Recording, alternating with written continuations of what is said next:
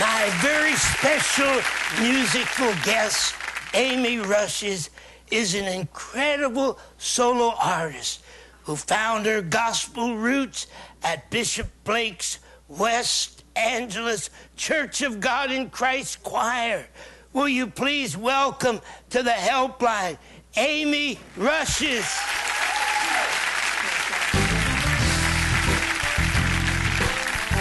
It's a good thing to know we have a refuge, don't we?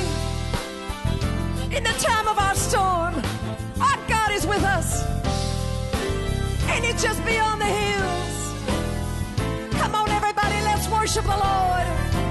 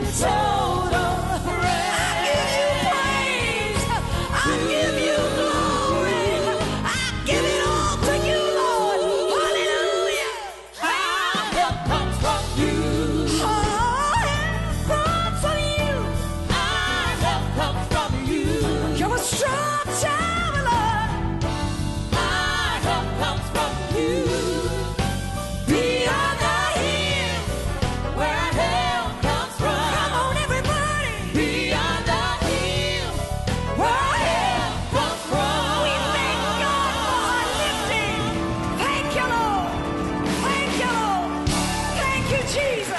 Hallelujah. Amen. Thank you, Lord. I know that this song has a real deep meaning for you personally. Yes. Tell, tell me a little bit why. Well, there's a lifting. Uh, when I lost my parents, Both parents? both parents, uh, Within a three month two period? months. Two month My period mom died. Two months later, my dad died, and that was my family. I don't have brothers or sisters, or a husband or children. So my parents, they were everything to me. And when my dad died, I quit on everything. And I was praying with everything in me to die because I didn't want to be here. But God, How, how did it happen But God. where But God brought the deliverance to you and turned your life around and it was line upon line, precept upon precept. Here Did- a little. didn't- didn't happen little. all at once. No, no, no, no. Um, it was step by step, step by step, God brought you out. little bit by little bit by little bit. And now, what would you say to somebody who's suffering with depression right now? Hold on. Don't give up. Most de- well, you know what? I, I don't know that I would say that, Dr. Cerullo, because I did give up. Yes. But you know what? God was bigger than my give up. he was bigger than that. So God didn't let you give up on yourself. No, I mean he was there all, all along. So if you if you do give up, if you have, if you're there, and you can't pick yourself up, that's okay, because God can do it. Amen. He, he did it for me, and I I'm nobody that He should do it do it for. Yes, you are. You're somebody in Him. Amen. Let's tell Amy we appreciate her being here. God bless you. My next guest has a story that needs to be told and emulated in today's society. Lakita Garth Wright, she's spoken before millions of teenagers in live assemblies across the country talking about sexual abstinence, holding off until marriage. She also practices what she preaches her first kiss coming on her wedding day at the age of 36. You gotta take a look at this. My name is Lakita Garth Wright, and I actually um, speak to about a half million young people across the United States and around the world every year. Usually, my topic of discussion is abstinence. I teach people to wait until you say I do, which means I do you, you do me, and we don't do nobody else. That is what I do means, okay? My mom raised five of us. She was a single parent. She was widowed. My mother and my father, when he was alive, they were very strict disciplinarians. And everything was just very, you know, you do what you're told. You know, you can't be in the wrong place at the wrong time with the wrong people doing the wrong thing. We were raised in a godly home, but there wasn't a relationship with God that was emphasized. I went to USC, and that is when I encountered Christians for the first time. And I went to a Bible study, met this girl. She led me to the Lord, and it changed my life forever. Through my life's journey and walking the walk of Christ, I've done the pageant thing. I was Miss Black California, I ran up to Miss Black America. Um, I ran AC Green's um, Athletes for Abstinence program. I've spoken before the Senate and Senate subcommittees uh, several times. I speak to about a half million young people across the United States and around the world on abstinence from sex. One of the first things the Holy Spirit told me when I became a Christian is He said, You will be seen before the eyes of many, perform for an audience of one. So no matter what interview that I'm engaging in, I pretend God is the one looking through that camera lens. I'm going to have to give an account to Him. I'm relatively newly married. His name is Jeffrey Wright. And so all those years I was praying for Mr. Wright, I married Mr. Wright. And we have a little boy named Justin, and that makes him just right. I was looking forward to a complication free pregnancy. That didn't happen. I honestly didn't think I was going to make it because it was just that serious. And then the delivery was worse than the pregnancy. 36 hours of hard labor, two epidurals, and a spinal tap. None of them worked. And I would do it all again because he is a blessing. And I believe that my best days are yet to come. My passion for young people is to tell them do not take lightly your youth. This is really the time for young people to run without, you know, any kind of inhibitions for Christ and his kingdom. Please welcome Lakita to the helpline.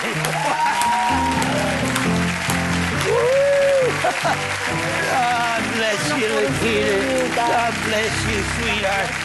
Welcome to the helpline. Oh, well, thank you. It is a blessing just to be here, just to be here in your studio. Thank you so much.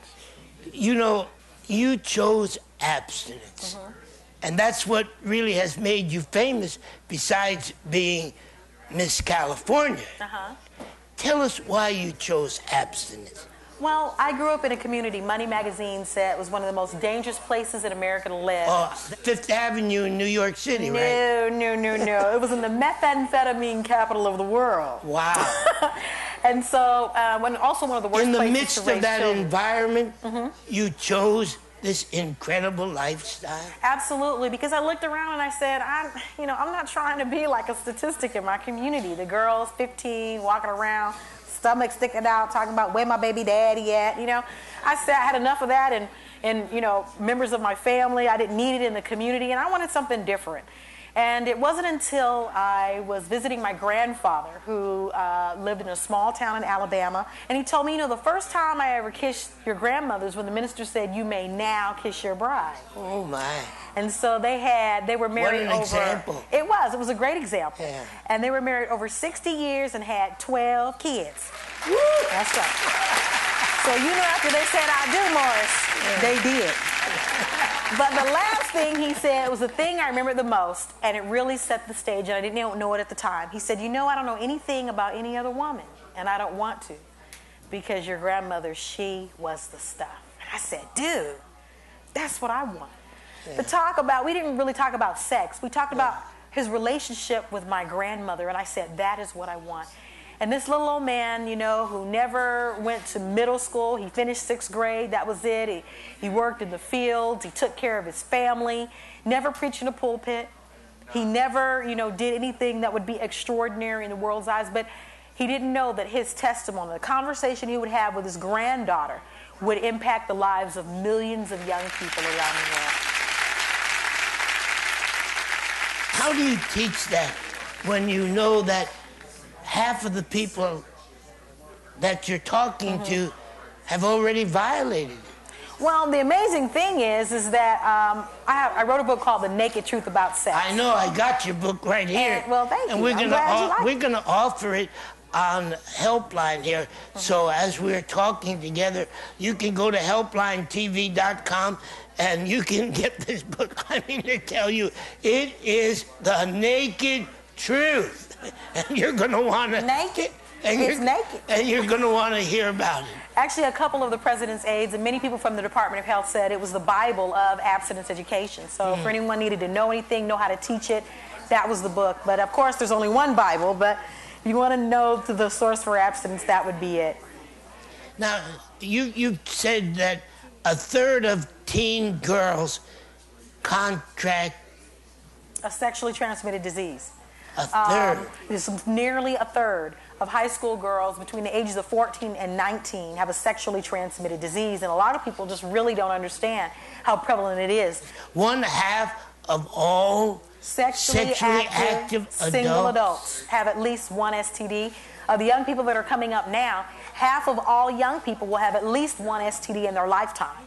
Um, people think AIDS is the worst thing that can happen, but actually, AIDS is not the only STD that can kill you. It's not even the most contagious. And there's one out right now, HPV, human papillomavirus, that 20 times more people have this STD than have HIV.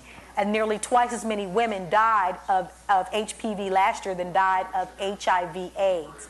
And no one is talking about it. How do you quickly, in just a few minutes, Mm-hmm. on this helpline, with millions of people around the world watching us right now, Mm-hmm. how do you teach abstinence? How Well, do you the- teach it? The thing is, is I have, I truly believe if you're not modeling what you're teaching, you're teaching something else. And I believe that the church has to be the primary source to preach the truth and to preach the word of God, Okay. not just in Come word, on, but preach it in deed. Let's hear And the reason why so it's have- time for the church Yes. to stand up and speak up. Absolutely. I could have written this book. I'm, I'm the chairman of the board of the largest abstinence education organization that exists on the planet. There's a quarter billion of nearly a quarter billion dollars for abstinence education. I could have written it, made money for the secular world, but I wrote this for the church. Because the reality is, is that when the church gets a cold, the world gets a flu. And the reason why we are in the condition that we are in right now is because, because the church needs to walk the walk as well as talk the talk. That's, oh my Lord. Now, I, I want to ask you just a couple of quick Mm-hmm. questions. Explain the four steps in decision making regarding abstinence. Well, the thing is, is that the majority of people don't make uh, conscious, rational decisions. It's Particularly young people, brain development doesn't end until the age of 25. It's pretty much they respond according to what's coming up. So we teach decision making. One, you have to know your options and know your consequences. Um, the second is make a decision. As a matter of fact, I was reading this Bible this morning. What was the name of this book? The Bible, and it said, um, it said, "Choose you this day who you're going to serve." Right. So you have to make a decision every day about what you're going to do. The third step in decision making is find other people who are going to support your decision. Okay. One of the lies and truths clothing that we uncover in the Naked Truth is the lie of everybody's doing it and peer pressure. Okay. Peer pressure is a media creation. The naked truth is misery loves company. And you have got to find other people like Daniel did with Shadrach, Meshach, and Abednego. You've got to find other people who believe the way you do, live the way you do, and surround yourself with those people.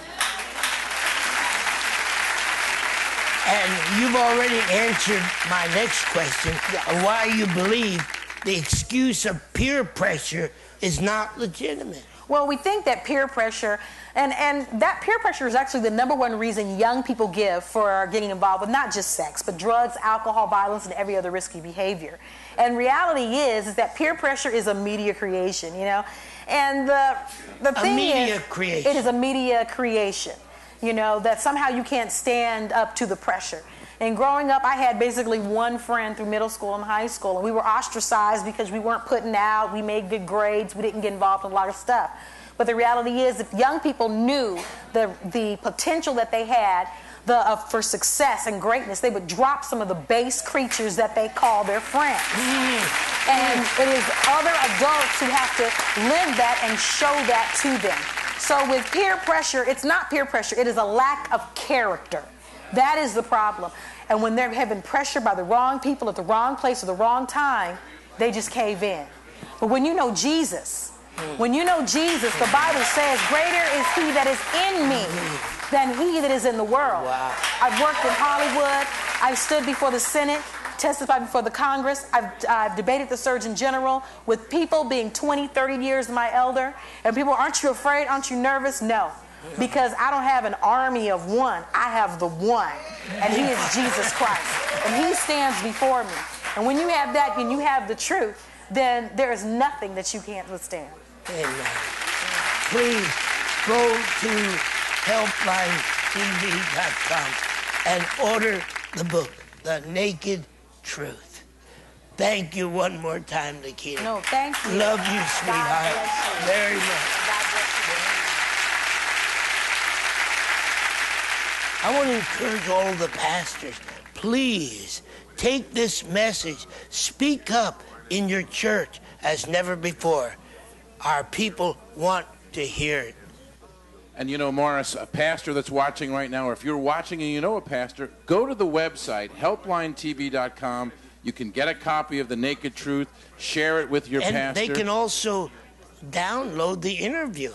watch the interview. You could download it. You could send a link of that interview to your pastor. There are incredible resources on helplinetv.com. And I want to encourage you, Morris, during that whole interview, these phones have just been off the hook, and we've been getting incredible prayer requests by email. And you know, you may have a prayer need like this dear lady. I won't say her name because she wanted this confidential. But you can go to helplinetv.com to send your prayer request. She said, please pray that the Lord would heal my broken heart. Oh. My husband of 26 years left me a year ago for another woman. Now, this line is a killer. My husband was a pastor. Oh my, oh my. He is so lost now that he acts like a different person. This whole thing has been devastating for me and our two grown sons. You know, the Bible says that to whom you give your spirit to, that spirit takes over. That's right. And so she's asking, please pray for God to comfort and heal us, and that God's perfect will would be done in our lives. And we're going to pray because all of these needs that you see here, when the program is over, we go into deep intercessory prayer, lay our hands on every one of your requests, and we bring them to the Lord. So if you've been waiting during this whole program to go to the phone, go to your computer, now is your time. HelplineTV.com, 24 hours a day, seven days a week. Take a quick look at this. HelplineTV.com is your personal resource for prayer. With one click of the mouse, you have the ability to request prayer for whatever circumstance you're going through today. I Care Prayer Ministers are available to you 24 hours a day, 7 days a week. HelplineTV.com also features all previous episodes of Helpline. With just a click of your mouse, you'll be inspired by the incredible music and interview guest and the teachings of Morris Cerullo, or find complete listings of new Helpline episodes airing on television in your area. You may also read the miraculous answers to prayer from Helpline viewers to encourage you in your own prayer life. Morris has also recorded a series of very specific prayers that speak directly to so many of the people's needs that he has encountered in his 61 years of ministry. For family, Father, I pray that their relationship in their marriage and in their family husband and wife and children together will receive your healing restoration. For finances, God is interested in the prosperity of our being, our well being. Be blessed, my friend. Receive the financial victory that you need in Jesus' name. And finally, find sweet dreams every night through a unique nightly email devotional from Morris and Teresa Cerullo, exclusively available through HelplineTV.com, your personal resource for prayer. And now, let's return to Morris Cerullo and Helpline.